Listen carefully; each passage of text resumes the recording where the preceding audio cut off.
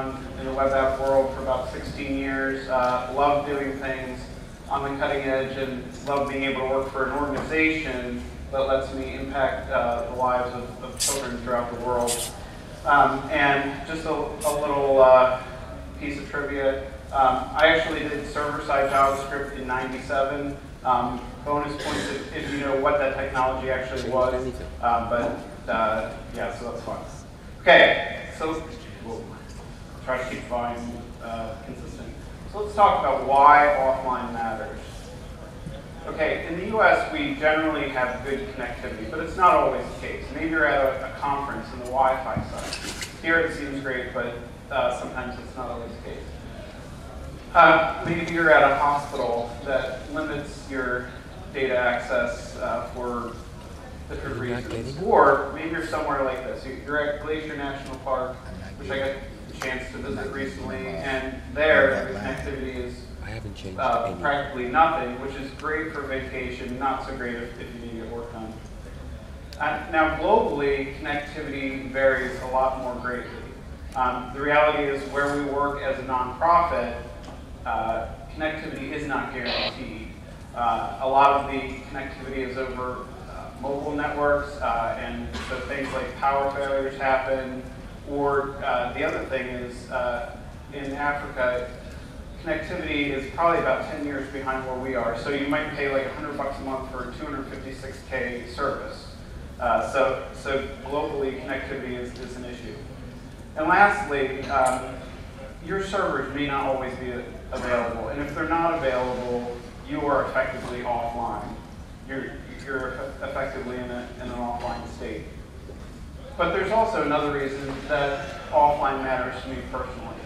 Uh, one of the conditions we treat at Cure is called hydrocephalus, and hydrocephalus is water on the brain. And as you can see by, by the child, um, the, the baby here, you can see a large head, and, in fact some of these heads get really, really big. Um, and it's a deadly condition. Uh, if it's not treated, a, a child will die but fortunately, we've been able to provide care to children with this condition. And, and the, the child you see on the right there, uh, his name is Tom, and he has successfully had surgery um, and is living a, a, completely normal life. So we operate this program in about 15 countries uh, throughout Africa and, Asia. And um, we work with local surgeons and with uh, local uh, social workers to, to provide care, but, but we had a problem, and, and that problem was how do we manage to record the data from these uh, remote locations um, and be able to keep track of the information from all, all, all, the patient work that we're doing for quality assurance, but also for research perspectives. So being able to um, do some research to be able to find what's the most effective way of, of treating this condition. So we need a, a, solution that was distributed. We need a solution that could work offline. Um, and we needed something that would allow us to, to, to save the data centrally. So I built a HTML5 app um, that allows us to do this. And this app is what I would call an offline first app. So offline first design, what we're looking to do is assume that you are offline. Everything happens in an offline context. Sure, you may have online accessibility, but if you don't, we want to make sure that the app works perfectly uh, with, with, without the online connectivity. Uh, offline first design is also very effective on a mobile app because you don't want your users to experience a different experience when a connection isn't available. So let's, um, we're going to use this guide here. Someone, some kind soul printed out a, a, a guide for surviving the offline apocalypse. So we're going to use this as, as a guide. We're going to look at living off the grid in a fortified shelter. We're going to look at somewhere to store our supplies. We've got to store our stuff somewhere. Uh, we have to have adequate weaponry. We need to make sure that uh, we have all the tools we need to get our work done. And we have to have an escape plan um, if, if, we're going to escape the, the offline apocalypse. So let's look at what that means. So the first thing we need is we need to live off the grid. We, we need somewhere, we need a structure, you know, something like this. Uh, this looks like it could be on Tatooine, but it's actually in New Mexico somewhere. But we need somewhere to be able to store our structure. And application cache allows us to do that. Um, so all our JS, our, our, our CSS, anything that we need to render that app offline we can do with application cache. Now maybe you've heard about application cache. Maybe you've heard that it's kind of a jerk. Um, and it is, but for something like a single page app, it, it actually works pretty well. Okay, so we'll look at a, a brief example here. Uh, you can see at the top here we have a, a manifest attribute in our HTML, and this just points to a manifest file that um, indicates basically what we need to work offline. So in, on the bottom part here, we have uh, the declaration of the cache manifest, as well as what's most important is this middle section here, where we list um, the files that are required for offline usage. So our CSS, our, our, our images, and, and, our JavaScript. And then if, if, there are things that we don't need offline, we, we can specify that in our networks section down below. Now, one of the challenges with application cache uh, is that anything that you, the application cache will not be updated unless you update this manifest file. So, um, and, and the other thing to keep in mind is any HTML, any resources served from the application cache, even if you're online, your data, your, your files will be served from the application cache. So one of the things we can do is make our, our manifest file dynamic. And you can either do this at build time, so when you're, you're pushing a new build of, of your app, you could generate a new manifest file, or in this case, we're just using a simple PHP file that's going to go ahead and uh, basically look at a timestamp on your on your JavaScript file to use that as, as kind of a build number, and then that will allow us to dynamically um, update the, the application cache. Okay, so uh, real briefly, just talk about application cache browser support. Uh, as you can see, it's, it's supported in most browsers, uh, IE less than 10. It's not supported in, it's not supported in Opera Mini, um, but pretty pretty good coverage.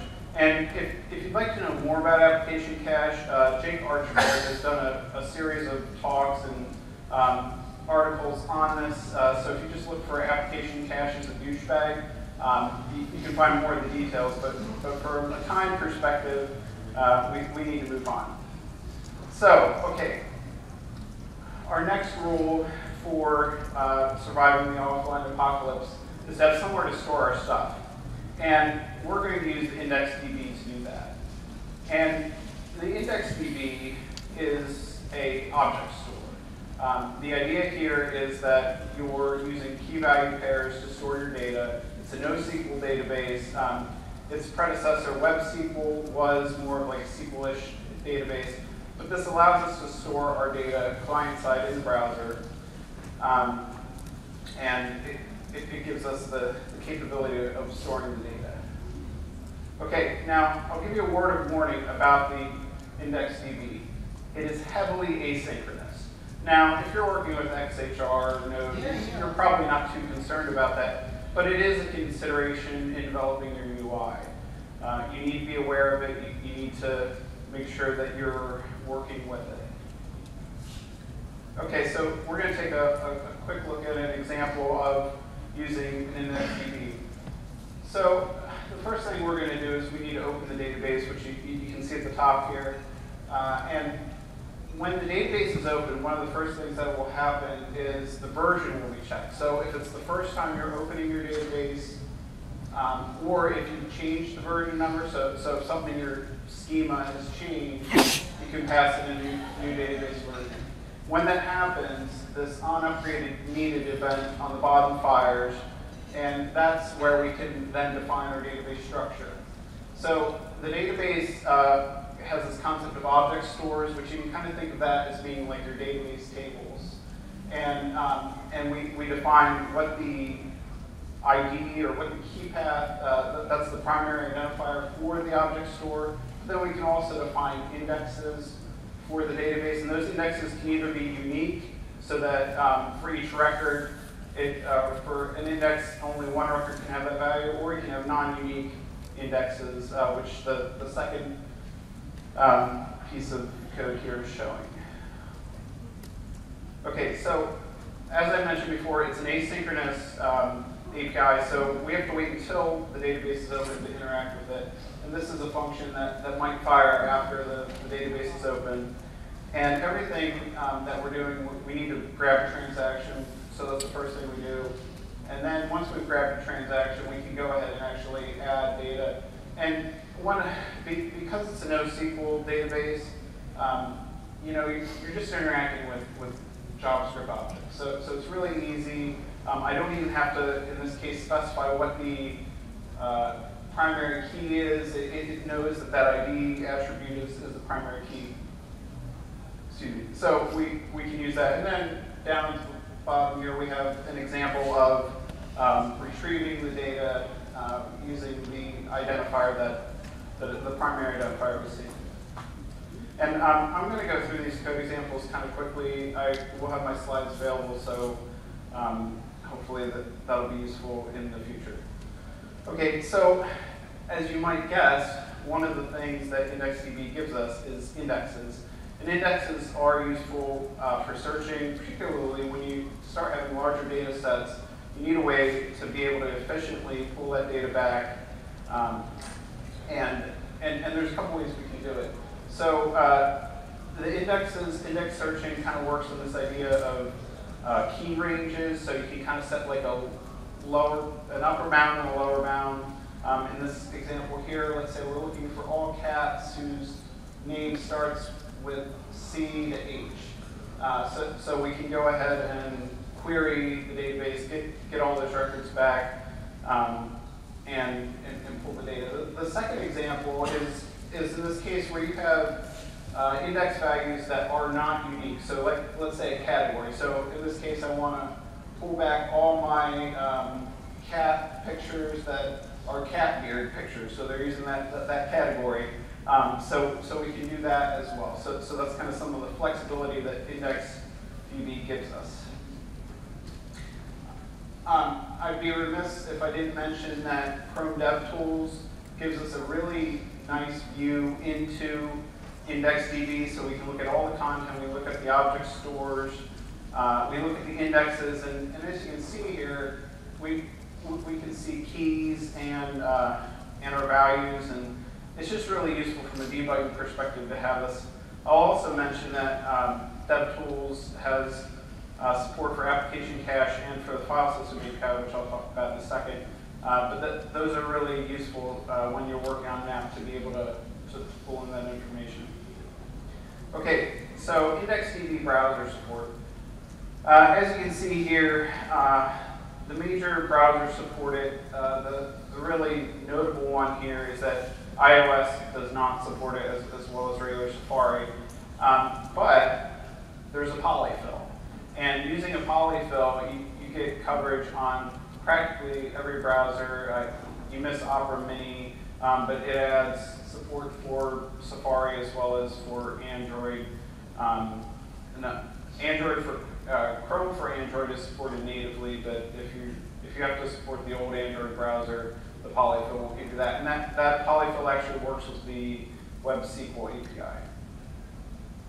Okay, so the next thing we're, yeah, I, I don't know if anyone recognizes this, but this is actually a Nerf gun that, that, that somebody uh, outfitted, uh, you know, made, made it look a little retro, so it's pretty kick-ass.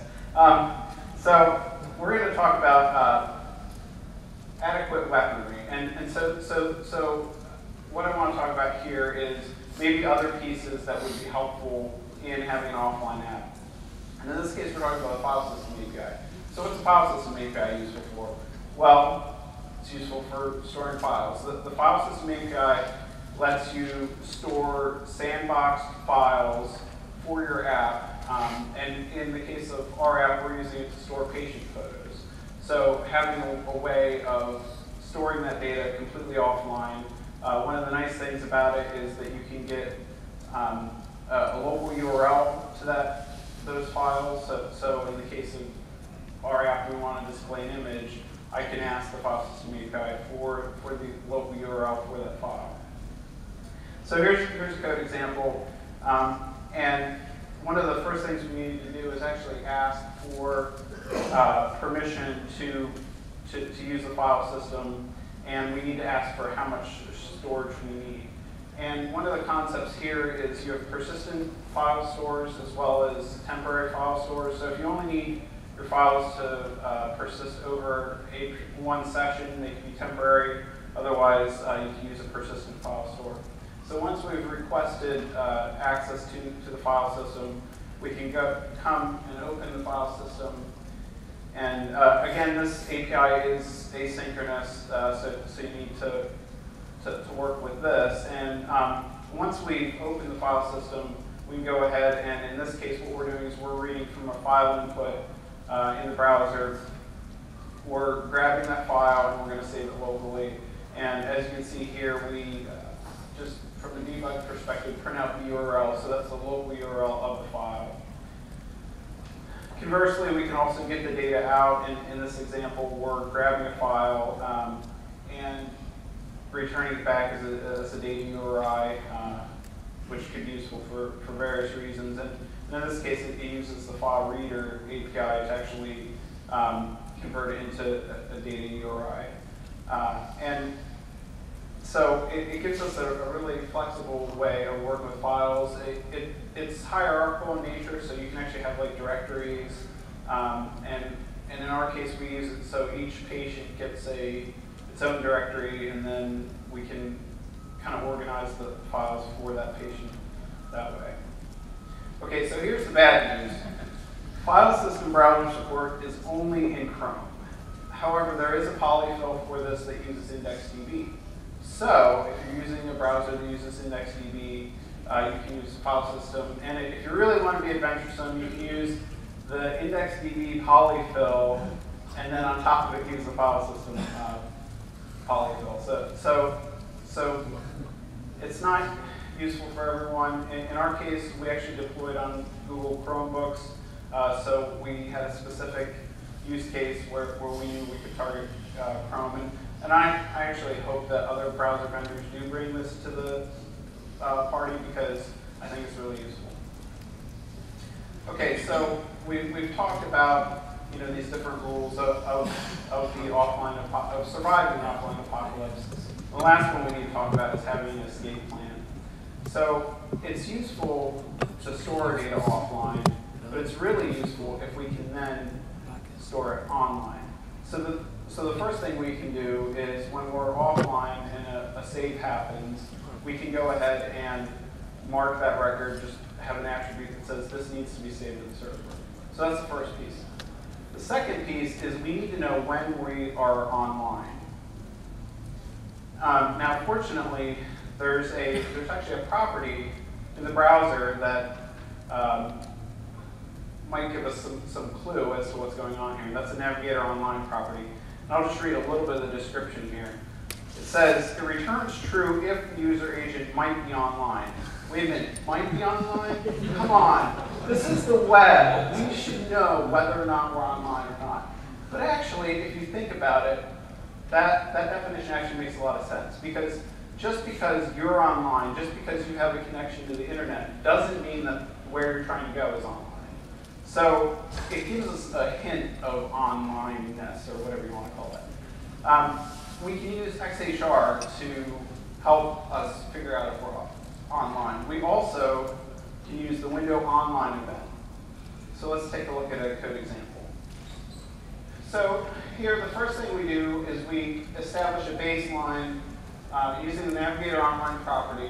We, we, can say, okay, you know, baseline seems we're online or offline. We can also then tie into the online and offline events. And, you know, if we do encounter an online event, that's a great time to try to save our data online. And then the last piece here is when we do try to save our data, we can again, if, if that request is successful, we can say, well, we're most reasonably online, um, but if it fails, we can say, well, okay, we're offline to the server, at least at this point. Okay, so I'd like to end with um, sharing this picture. And the reason I'm sharing this picture is because these people are survivors of the offline apocalypse. They, they, uh, this group of people has been using uh, this offline app to help record the stories of these patients that, that we've been helping. And so far, 9,000 kids uh, have been entered into the system, and that represents 9,000 lives that have been saved.